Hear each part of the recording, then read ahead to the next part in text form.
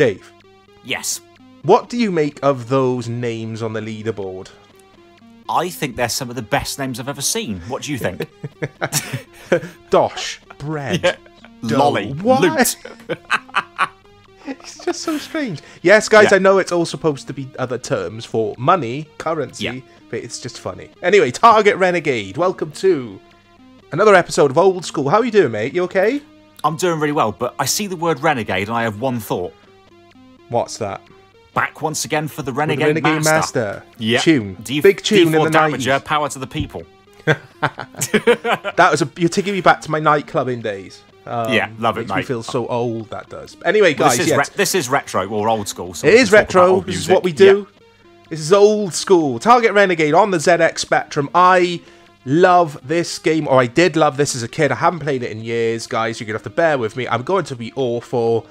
Um, there is Lolly Luke Dosh Bread Dough again. So, uh, yeah, let's jump into this. So I'm going to play one player. We tried two player guys over RetroArch, and it played uh, Funny Buggers with us. So Yeah. There you go. Look at that. Hey, He's in. he's in the game. So I'm using And the um, Xbox Series controller, guys, just in case you wonder. Oh my god, what's going on here? Uh, right, okay. Oh, look at that. I Now, love let's it. jump. Let's jump. No, it's not. Is it up on the D-pad? Yeah, uh, yeah. I'm Or trying Jeff- to play this like a modern kind of. Yeah, do you have to do... Ah, there we go. Jump Right, kick. I- Kung fu kick him kick. off his bike. I remember this game, guys. So there's Target Renegade is let's kick him and him. No. Uh, Target Renegade is a part of a trilogy, guys. Uh, you had Renegade, Renegade 2, which is this, Target Renegade, and then Renegade 3. I've never played the first or the third. I have a lot of memories with this. Dave, what are your first impressions of me um, getting mowed down by the motorbike man? that what a quite interesting first screen because if you weren't sort of ready for it, ready for that experience with the controls, like I had a go on this earlier, Uh-huh. you're going to die because you're not going to expect it and you're not going to know what to do. And I had the same syndrome that you just said about modern game syndrome and modern control Yeah. scheme syndrome. Sure. And I just kept getting mowed down early on in the game as, as you were showing there. And uh, I thought I died there. No, there's my energy bar in the middle. Yeah, Yeah. it's because we're so adapted to modern gaming. We think there's a button to jump, but obviously, back in the day, guys, when I was playing this, or when any Spectrum owner was playing this, if you weren't using the keyboard, you'd be using the Ross Kempston. Uh, the Ke- the Kemp the Kempston joystick, and That's it right, had one yeah. red button, and it was a stick, and up on the stick was jump, and the one button would just do your kick and your and your punch. You kind of punch and kick randomly. It sort of depends on. I don't know what it depends on, to be honest. Does it depend on how close the enemy is and if you hold a direction. Yeah, at the same yeah, time. maybe. Um, but this, I mean, it it's ZX Spectrum, guys. So visually, no ZX Spectrum games look particularly nice in 2021. I mean, you can see the top half of the screen is predominantly white, the bottom half is yellow, and as your character goes up and down, he goes either white or yellow. It's uh, it's interesting, but that was Yeah. the limitation of, of the home was. machines. That was what Yeah. we had, and this Yeah. for a lot of people that may have never played these types of games, I think is quite interesting for them to know. It wasn't all colourful. We didn't have the gazillion colours that you have these days on your on your modern games. You were lucky didn't. to get four colours in some games. This play, gameplay wise is fantastic to this day. This is guys, this is late 1980s or, or maybe even mid 1980s. It's a very old game. This actually would have influenced a lot of the games you've played in recent times like Streets of Rage 2, yeah, Final Fight. What was that game you were talking about earlier, Dave? uh, Double Dragon. Double Dragon. Yeah. Yeah, Double Dragon would have been another one that came after this. And I just used to play this game so much. I never finished it because it's very, very difficult. It gets ridiculously difficult, actually, this game does. It's tons of fun.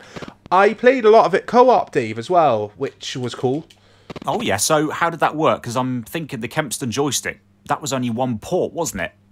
I think it was one port, yeah. I'd be on the Ross Kemp, and Yeah. My brother would be on the keyboard, on keys, and Ah, We'd was have it the to sit- rubber keys? no, I had the 128K. Thank goodness, because I would have hated to try and play games on the rubber keys. No, I mean this is on the 48k as well. I think. Um, Yeah.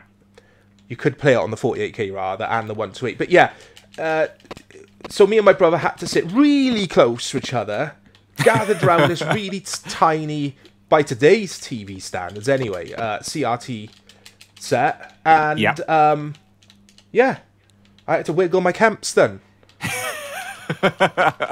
Yeah, to get Right, the old Ross go. Kemp out. The thing Correct. is, I, I can see why you like this game so much because it's my kind of game. I love side scrolling beat 'em ups. sure They've brawlers been- i call them brawl 'em, That's that's probably a better term actually. Yeah. A good old side scrolling brawl 'em up. Yeah. I, I love those kind of games. Always love Streets of Rage. Really like Final Fight, which is also quite difficult, I think, as well. And this, yeah, this would have really been my cup of tea back in the day if I'd have played this on the Spectrum. It's my cousin actually did have a Spectrum, but I don't think he had this.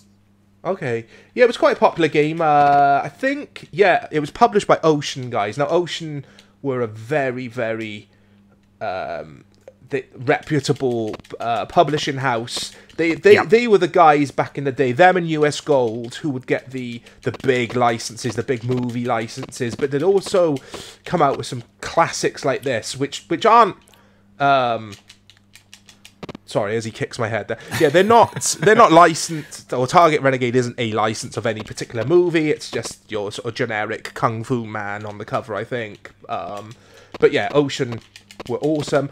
And I don't know if you remember, Dave, uh, these games because this was on uh, the C64 and the Amstrad as well. But Ocean Games, I think I'm right in saying this, guys. Correct me if I'm wrong. Uh, they would start off at like eight ninety nine to ten pounds Yeah. and after a year or so of being available in the shops, they'd go on to something called the Hit Squad label. Yes, And they'd be then right. like available for like two, three quid. That's right. And sometimes with those Hit Squad labels, you'd get multiple games. You get like a Hit Squad box with a couple of different games from the same publisher in the box, Uh, which which I really liked.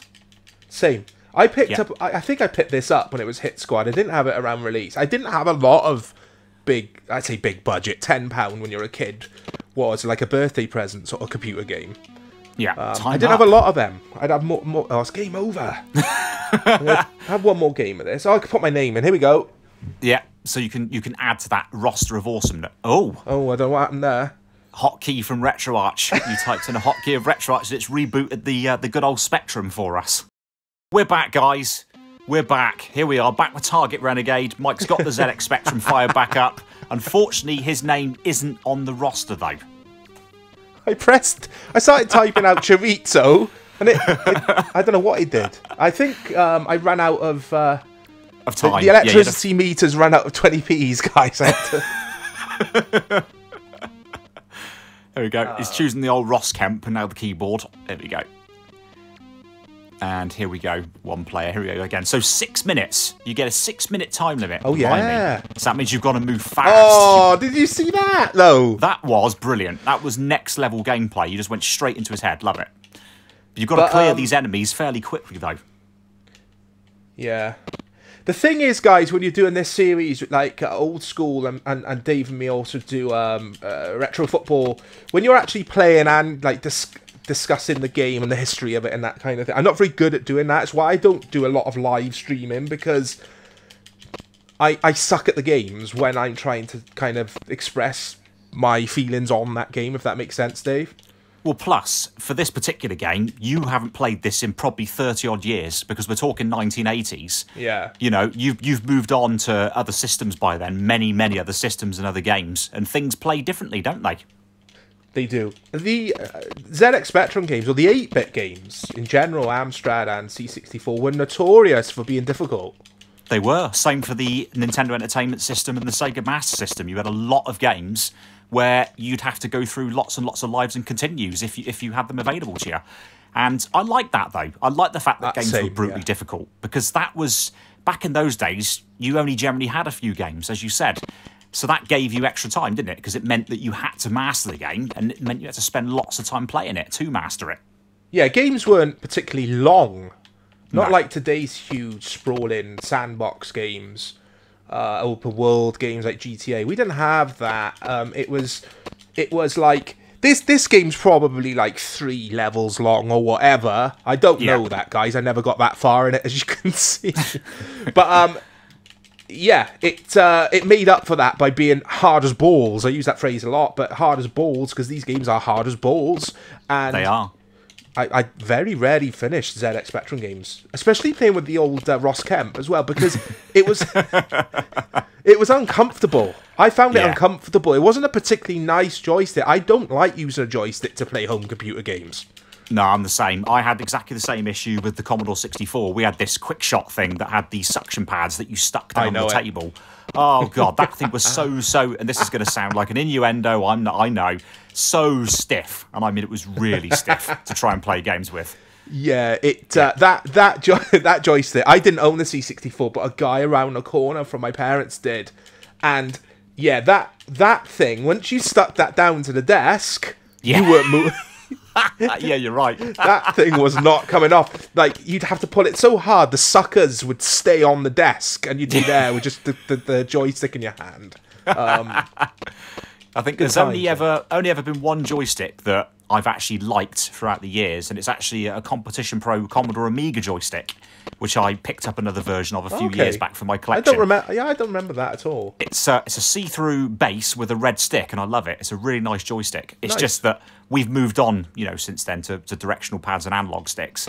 But it's the only joystick I've ever really got on with out of all the ones I've ever played with. And believe me, I've played with quite a few. Like the Atari joystick was awful, really awful for the Yeah, I agree. Yeah, I wasn't Yeah. keen on that at all. The No. that that was the thing for me though, man. When when I went from Z, I think it was ZX Spectrum to NES was my next Yeah. machine, and or was it Amiga? But anyway, it doesn't matter. Uh, That's why like console gaming to me felt so accessible. Having that cool uh, little NES controller, it was just it was it worked, didn't it? Yeah, it did. It was it was a good design as well from Nintendo at the time to move us into directional pads instead of analog sticks. Oh, sorry, not analog sticks instead of joysticks. Yeah. and it worked. It worked really well. I, I remember the first time I played an NES and thought the controller was really decent compared to the joysticks.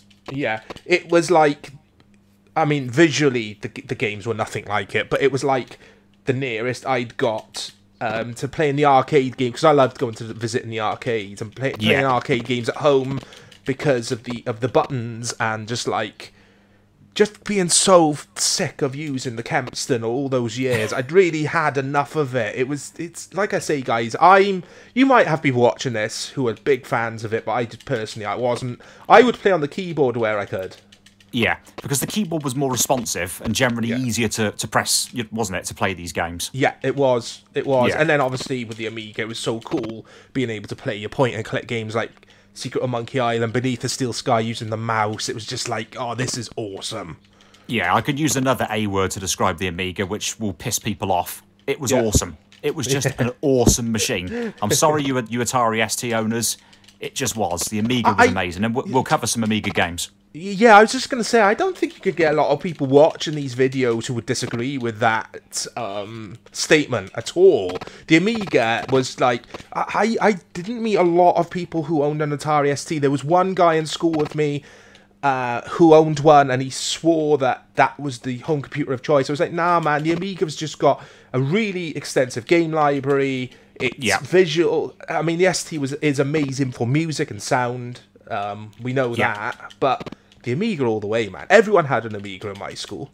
Yeah, and also just quickly as well, the Spectrum was hugely popular back in the day, and for good reason. That plus the C64 pretty much dominated the UK home computer, the It did. microcomputer era, for Yeah. good reason. They were both good machines. Not so much in the US. The C64 did really well in the US. Commodore did in general. There's the ZX Spectrum. You'd be lucky to find many back in Yeah. the 80s. But that's time up, and it's time for old school. Hey, it's not time It's up. letting you play anyway. on. Let me play- yeah, okay, guys, we'll, we'll extend this a couple of minutes because I'm such a nice guy like that. Let's let's see if I can beat this guy and what happens next. Because I want to see, See if you can go in the elevator. Do you have to go in the here we go. Here oh, we look go. at that. That's cool.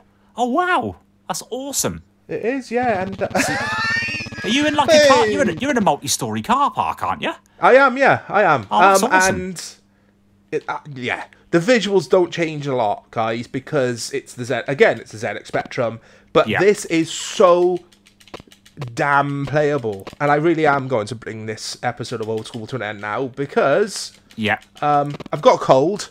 and I want to go and blow my nose. So thank you for joining me, Dave. This has been fun. We'll do some more home Yeah. computer videos. I think we need to feature a C64 or, Yeah, or we will. even nah, or even better, man, because we're we're both so passionate about it. A Commodore Amiga, Amiga. game next. Yes, we We've will. got I've two. got one in We- mind. I've got one in mind Okay. for that. Yeah, awesome. It's your turn next. Thank you for joining me, mate. Speak to you soon, guys.